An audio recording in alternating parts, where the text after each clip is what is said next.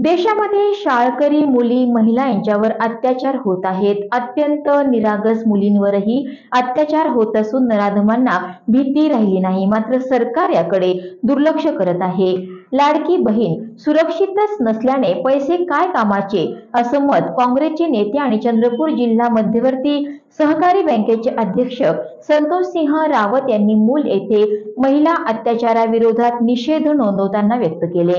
मूल शहरातील गांधी चौकात बदलापूर येथील दोन मुलींवर आरमोरी येथे एका मुलीवर आणि राज्यातील महिलांवर वाढता अत्याचार तसंच महिला सुरक्षेच्या मुद्द्यांवर असंवेदनशील महायुती सरकारच्या निषेधार्थ महाविकास आघाडी मूलच्या वतीने धरणे आंदोलन करण्यात आले.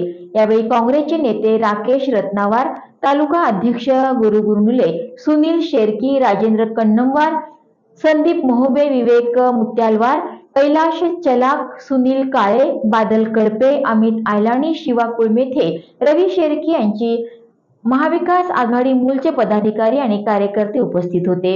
यावेळी आंदोलकांनी दिलेली ही प्रतिक्रिया.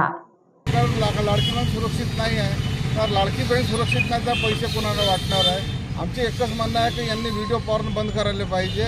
सरकार त्याचा उत्पन्न घेत आहे पण व्हिडिओ पॉर्न प्रत्येक लोकांपर्यंत पोहोचवत आहे आणि त्याच्यामुळे ज्या समाजात गंदगी फैलत आहे त्यामुळे फैलत आहे. आज या भारतात सुरक्षित नाही आहे. फक्त सरकारचं ते लाडकी बहीण आहे. लाडकी बहीणच सुरक्षित नाही तर पैसे कोणाला देणार आहेत? त्याच्यामुळे आज महिला सुरक्षित असणं खूप गरजेचं आहे.